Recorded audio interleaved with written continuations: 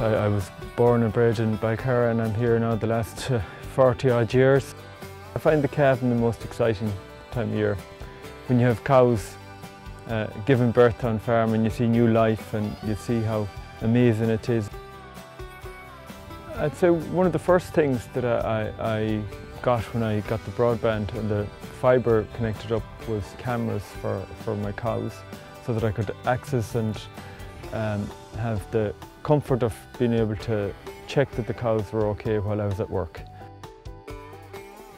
Today now, when I turned on my, my telly, I noticed that one of my cows was, was going into labour. I, I just uh, decided I'd um, monitor the cow from home and um, after an hour or so she, she actually went into labour full time and gave birth to a, a fine bull calf.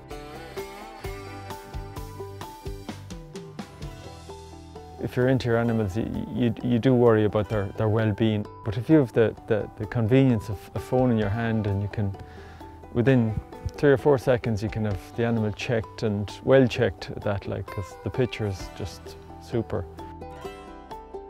For part-time farmers like Conor, it's hugely important that they're able to keep an eye on their cows at uh, this time of the year in the springtime when cows are calving.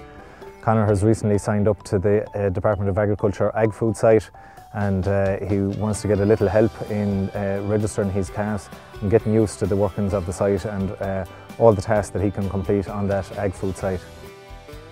Definitely, like speed is, is everything too because it saves on time. Um, if you haven't got good broadband, uh, the task takes a lot longer gets frustrating as well too and in a lot of cases farmers have just moved back to the paperwork as well so it's hugely important. So since the, the, the fibre has been installed it has definitely uh, speeded up everything for us you know it's, it's, it's a very positive experience.